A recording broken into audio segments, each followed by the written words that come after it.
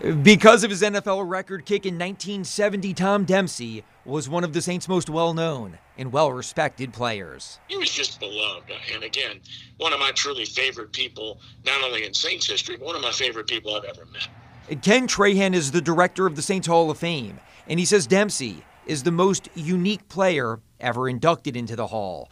Dempsey was born without toes on his right foot and fingers on his right hand. But he overcame the odds and played 11 seasons in the NFL with the Saints, Rams, Eagles, Oilers, and Bills. Tom hated when anyone called him handicapped. He despised that. He couldn't stand it. He was born with some obvious disadvantages that all of us uh, would never know how to handle in all likelihood. He not only handled it well, but he, he overcame it.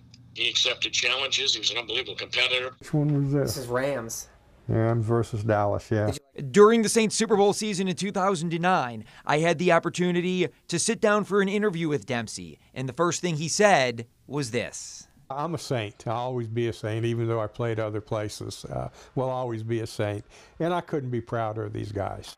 He was also proud of that famous kick back in Old Tulane Stadium that beat the Detroit Lions you know, the older you get, the nicer it is to be remembered. There's no question about that. And I'm proud of that kick. And we are proud that Dempsey was proud to call New Orleans home. A native of California who played with five different NFL teams, once his playing career was over, he could have gone anywhere.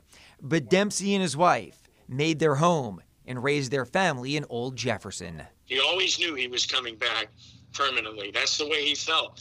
He and Carlene felt like this was home. Carlene uh, teaching at Kehoe-France for all those years. And our family, of course, raising a family here. And they went to schools here and they were comfortable here.